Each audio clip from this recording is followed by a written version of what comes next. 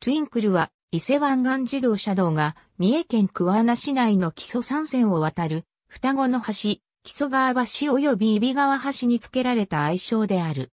共に世界初の PC 鋼複合エクストラドーズド橋であり、前者は、弥富木曽岬 IC 湾岸長島インターチェンジに、後者は、湾岸長島インターチェンジ湾岸桑名インターチェンジに位置する。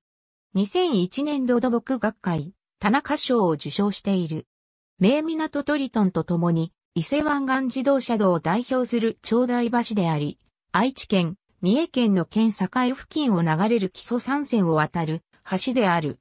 木曽山線のほぼ河口に位置しており、長良川はこの橋の上流で揖斐川に合流しているため、木曽川橋と揖斐川橋の2橋で構成される。この橋の特徴として以下が挙げられる。270メートルを超す最大主間を経済的に実現するため、橋脚付近は合成の高いコンクリート下駄を採用し、主間中央部には軽量な高箱下駄を採用している。このような鋼とコンクリートの特性を活かし、一つの橋梁の中で適材適所に用いるものを複合橋と呼び、その優れた経済性、構造特性から1990年代以降、架橋例が増えている形式である。また、構造形式にはエクストラドーズド橋が採用されている。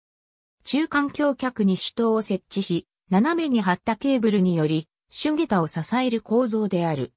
外見は釣り構造であるシャバリ橋に類似しているが、シャバリ橋に比べシュの合成が高く、橋の挙動としては桁橋に近い。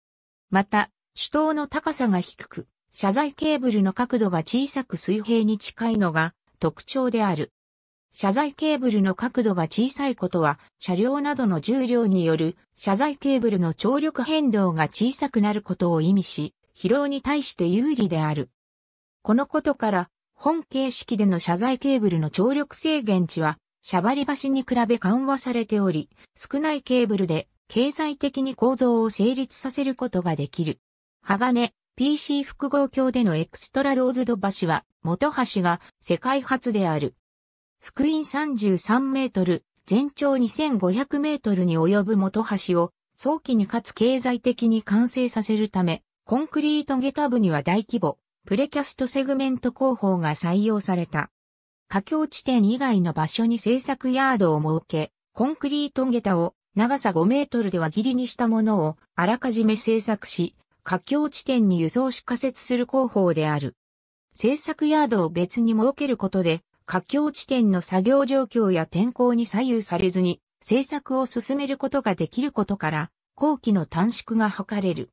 元橋の製作ヤードは四日市市の霞ヶ浦埠頭に設けられ、制作したプレキャストセグメントは、大線にて、下境地点に海上輸送された。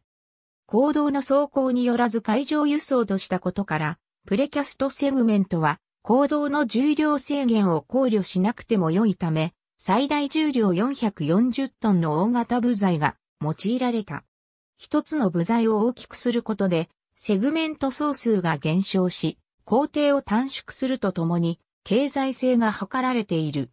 また、鋼桁部は、鋼桁製作メーカーの工場から海上輸送され、架設済みのコンクリート桁部から吊り上げる一括架設工法が採用された。仮設された鋼下駄は一箇所あたり100メートルに及ぶ。内は、揖斐川橋を示す。ありがとうございます。